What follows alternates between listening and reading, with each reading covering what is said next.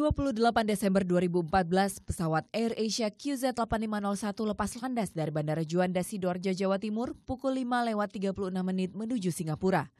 Di perjalanan, pilot sempat meminta menambah ketinggian, namun saat petugas pengawas menjawab, pilot tidak merespon.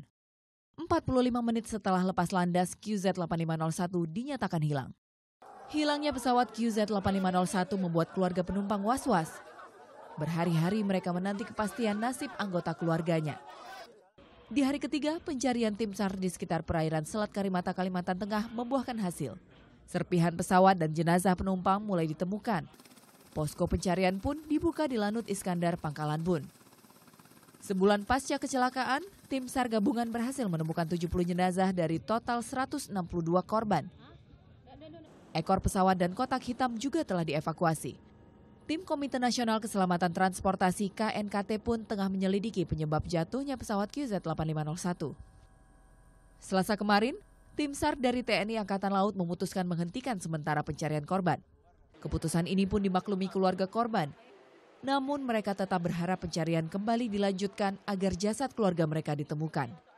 Saya yakin pemerintah Indonesia juga punya pertimbangan yang baik karena bagaimanapun saya juga kami mengucapkan banyak terima kasih pada tim Basarnas dan seluruh krunya TNI Angkatan Laut sebagainya. Mereka telah berusaha, berusaha keras.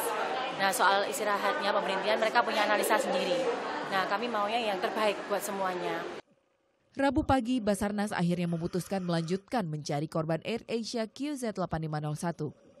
Pencarian rencananya dimulai Sabtu besok selama tujuh hari tanpa melibatkan TNI.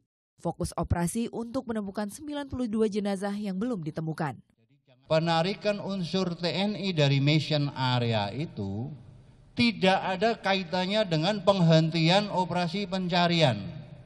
Sepanjang saya selaku Search and Rescue Coordinator, ya, berdasarkan amanah undang-undang, belum menyatakan ditutup, maka operasi pencarian tetap berlanjut.